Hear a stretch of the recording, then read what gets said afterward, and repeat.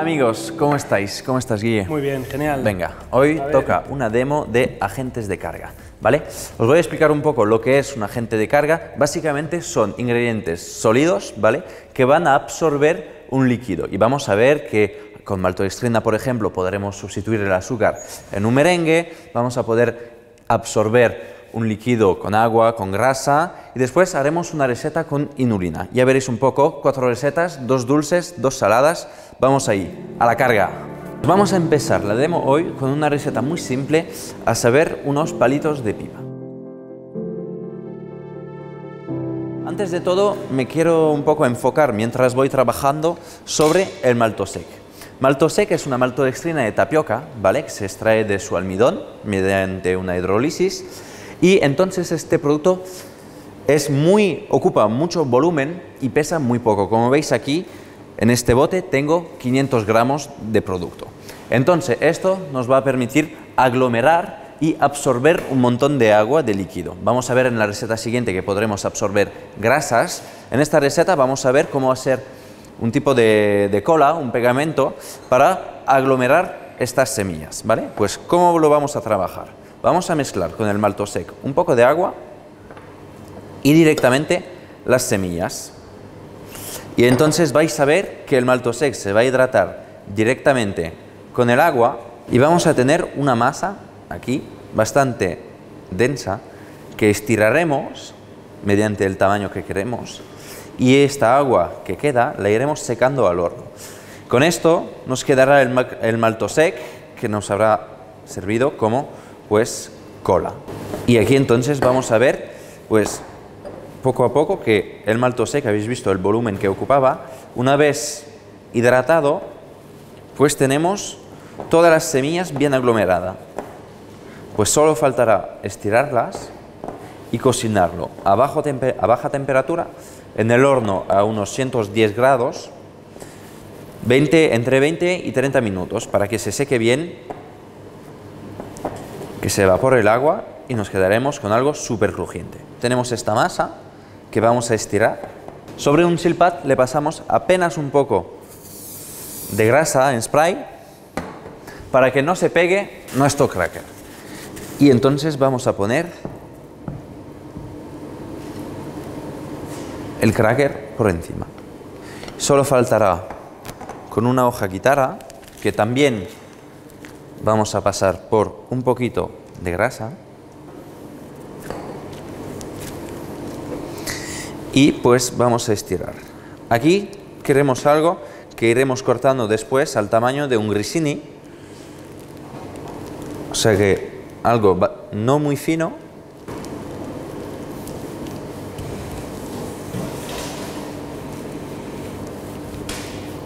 Y ya está. Como veis ya lo tenemos.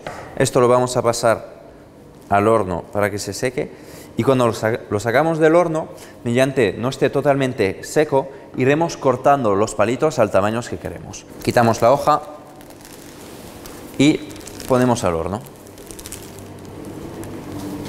Pues aquí como veis tenemos nuestro cracker que está a mitad secado, ¿vale? Está aún un poco tierno. Vamos a aprovechar este momento para cortar los grisinis al tamaño que queremos y después los iremos secando. Solo faltará partirlos, desengancharlos.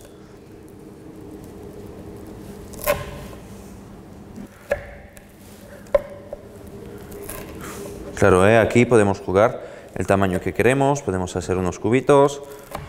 Aquí jugamos con el grisine, o sea que necesitamos esta tierra bastante larga. Esto solo falta secarlo unos 5 minutos más en el horno. Y ya estará.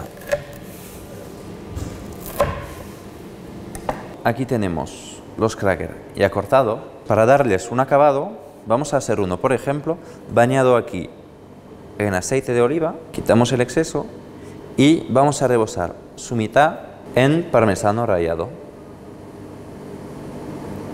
Segundo, pues de la misma manera lo vamos a envolver dentro de unas lonchas de jamón, un aperitivo.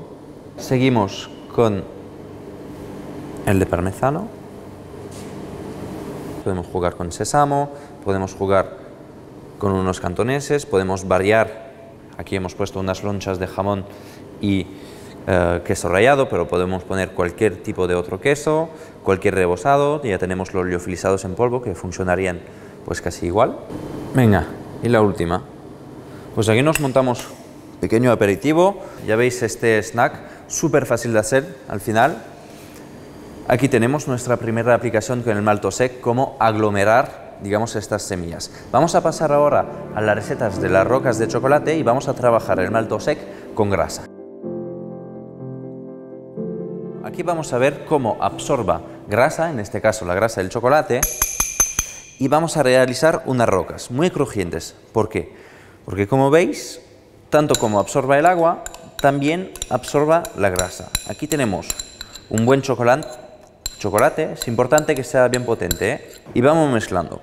Y vamos a ver que vamos a tener la misma textura, pues que parecido a los mantecados, y vamos a poder prensarlos, y después pondremos esta mezcla en el abatidor, y el chocolate pues ya lo sabéis, su manteca de cacao va a cristalizar y tendremos entonces una roca súper crujiente. Acabamos de prensar todo bien aquí. Aquí cuando hemos bien acabado de mezclarlo todo, tenemos esta mezcla. Fijaros que es muy parecido pues a los polvorones mantecados. Lo podemos prensar aquí en la mano. Y una vez bien prensado, lo que vamos a hacer es hacer migas pequeñitas rocas. Y esto están todavía un poco caliente. Las pondremos en un abatidor y las dejaremos que el chocolate, que la manteca de cacao cristalice. Y tendremos estas rocas súper crujientes. Podemos jugar ¿eh? con los tamaños, si queremos unas rocas bastante gordas o algo un poco parecido a una tierra. ¿vale? Podemos jugar así. Esto también lo podremos rebosar también después en frutos secos, en fruta liofilizada, por ejemplo frambuesa. Podemos también combinar el malto sec con fruta liofilizada, por ejemplo regaliz. Lo vamos a dejar cristalizar unos 15 minutos, ya estará. Y con esto pues vamos a pasar a montar un postre con chocolate. El clásico postre catalán, chocolate, aceite de oliva y sal. Ya lo tenemos todo, vemos las rocas aquí, las vamos a rebozar en cacao. Vamos a poner unas cuantas ahí. ¿Vale? las guardamos por arriba. Aquí las tenemos. Aquí tenemos un cremoso vegano hecho con la pectina X58. Vamos a poner en el centro del plato una bola generosa. Aquí. La vamos a aplastar un poquito con una cuchara que ocupa bien el centro del plato. Aquí.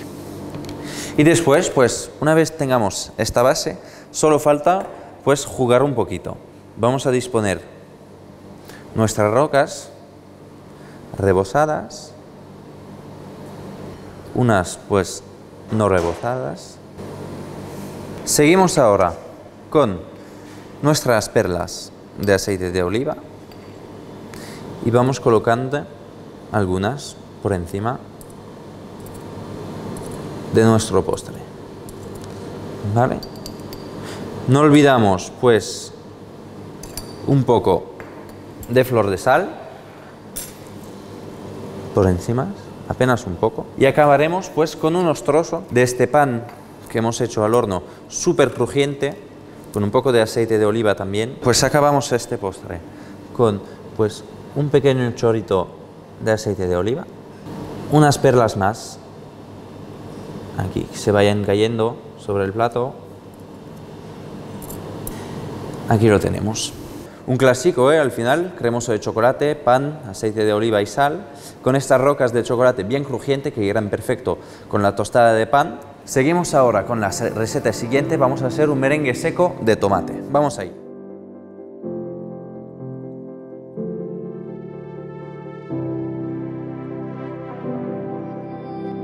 vamos a hacer? Aquí tenemos tomate liofilizado en polvo, que vamos a poner directamente dentro del kitchen Y esto lo vamos a hidratar pues con el agua. Y así pues vamos a reconstruir más o menos un zumo de tomate. A esto le vamos a añadir, claro, como queremos hacer un merengue, el albuwip, ¿vale? La proteína montante de la clara de huevo. Vamos a mezclar así rápidamente con varillas y ponemos a montar. Recordaros que como siempre tenéis las recetas de todo en el link bajo la descripción que está en la página web de Sosa pues esto lo diluimos más o menos así y ponemos a montar.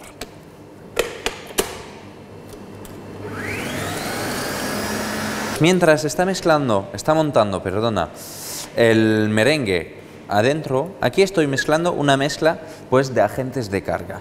Aquí tenemos entonces trealosa, este azúcar tecnológico que nos dará apenas un poco de dulzor, que tiene un dulzor de 45 por 100 eh, del azúcar, iremos combinado con la maltodextrina. La maltodextrina es un azúcar tecnológico, una, un agente de carga, que tiene este poder edulcorante de 10, en cambio de 100 del azúcar. Entonces, por eso que la vamos a utilizar como sustitución del azúcar dentro de un merengue. ¿Por qué? Porque en un merengue necesitamos añadir mucho sólido, el azúcar en general, para que absorbe el agua y que tengamos una textura muy cremosa dentro del merengue. Por eso que aquí, como queremos hacer un merengue salado, necesitamos aportar este sólido para tener, dar estructura al merengue sin aportar demasiado dulzor. Por eso que utilizamos esta maltodextrina que tiene un poder edulcorante solo de 10 al final. Esta mezcla de trealosa, que nos va a secar también, el trealosa es bien porque es un azúcar que es barrera de humedad, siendo poco dulce y nos permite guardar un merengue seco bien crujiente, ¿vale? Y que no se humedezca muy rápidamente.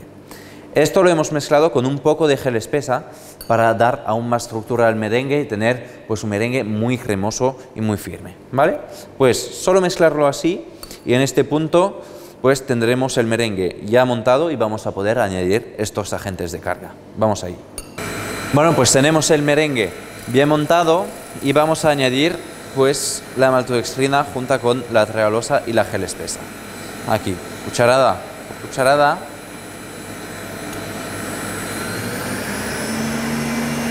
Hasta que se acabe. Y después, una vez hemos añadido todos los sólidos, pues vamos a poder dejar girar unos 5 minutos ¿eh? para tener un merengue bien estable y bien firme. También aquí hemos añadido pues unos gramos de sal, ¿vale? Porque claro, trabajamos con un merengue salado, ¿eh? Y al final, como os he dicho, añadir esta maltodextrina sería igual que añadir azúcar, pero sin su dulzor. Al final tendremos las mismas propiedades. Bueno, pues aquí hemos añadido todos los sólidos, solo falta, ya veis que se disuelven bien, solo falta dejarlo girar unos 5 minutos. Pues aquí ya lo tenemos. Fijaros, esta estructura de merengue, súper estable, súper firme, salado entonces, ahora lo vamos a estirar.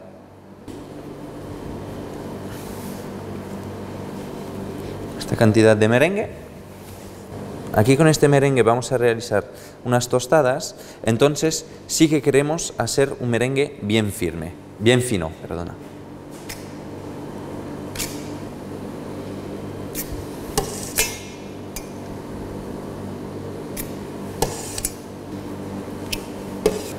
Levantamos por las puntas y aquí tenemos este merengue.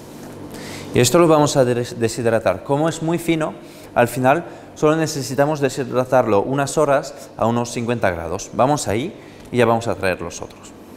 Bueno, pues como veis aquí tenemos el merengue pues ya secado. Fijaros, aquí cuando secamos, además de quitar el agua para tener algo bien crujiente, pues también concentramos el sabor, claro, porque evaporamos el agua y nos enfocamos sobre el sabor. Y lo que vamos a hacer es cortar unas piezas así, en forma un poco aleatoria. Vamos a cortarnos tres o cuatro como base para hacer un petit four, una tostada. Vamos a hacer una tostada, como tenemos aquí un merengue de tomate, pues vamos a trabajar un poco sobre el rollo pues, del salmorejo. Unas virutas de jamón para simular un poco, pues darle otra versión al salmorejo. Unas virutas por aquí por ahí. Vamos a jugar con esta ahora.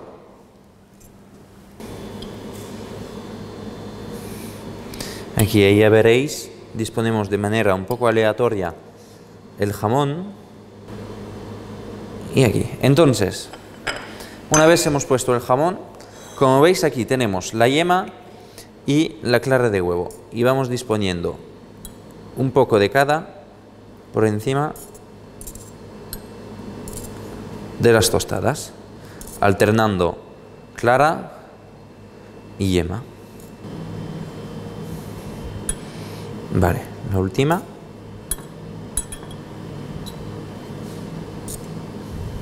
Aquí lo que hemos hecho es una crema de ajo al horno. Únicamente, unas cabezas de ajo envueltas en papel de aluminio, cocinadas al horno, Y después con aceite de oliva y con un poco de naturemul para ligar bien la salsa, tenéis la receta en, en, el dossier como siempre, hemos realizado esta salsa de ajo al horno. Y iremos disponiéndolo por encima, así.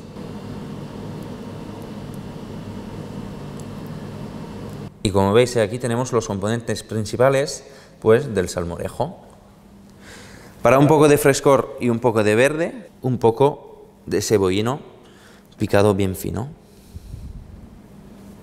La base de tostada muy crujiente con la maltodextrina de este merengue seco, el huevo, el jamón, esta salsa de ajo cocinado al horno, pues aquí tenemos este snack.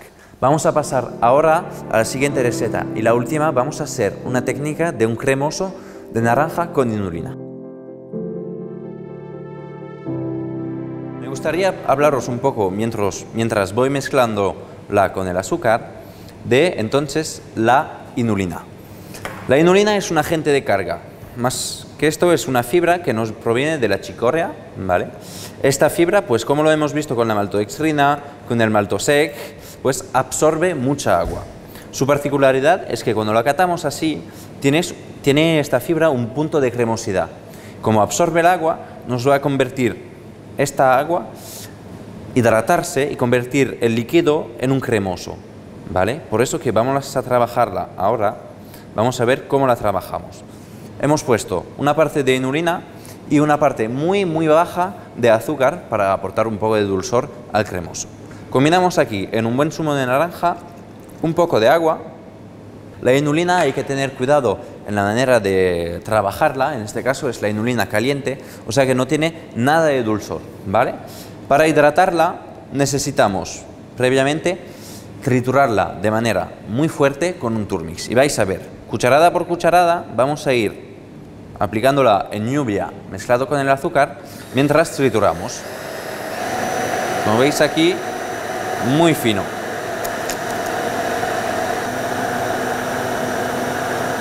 Vale, y esto lo repetimos cucharada por cucharada hasta que acabemos pues de hidratarla, incorporarla mejor.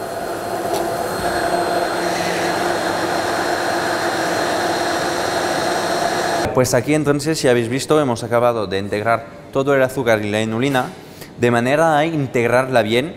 Es importante, ¿eh? como aquí Triturar bien para evitar la aparición de grumos y sobre todo, ya veréis después, una vez hidratada, para no tener esta sensación fibrosa en boca. Por eso que una vez bien triturado, es bien integrada, ahora vamos a hidratarla bien, activarla. Y por eso vamos a necesitar calentarla a unos 65 grados máximo.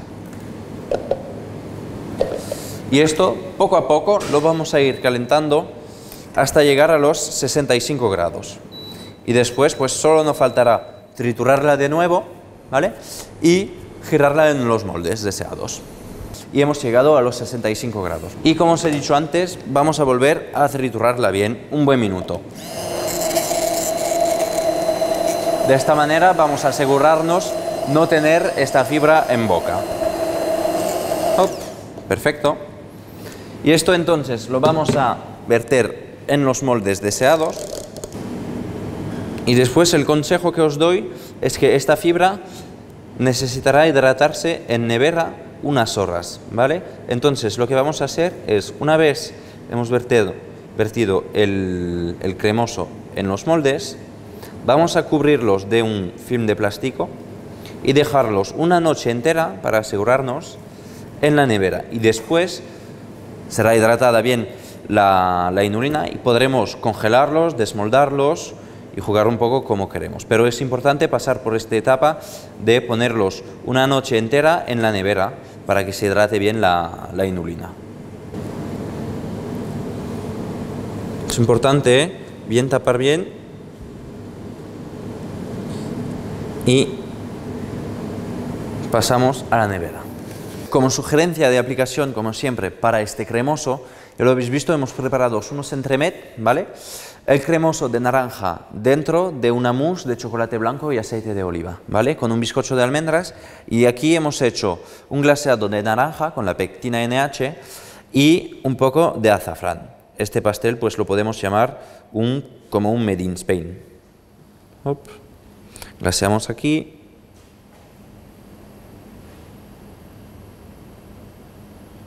Quitamos, como veis aquí, el exceso, generando los pasteles.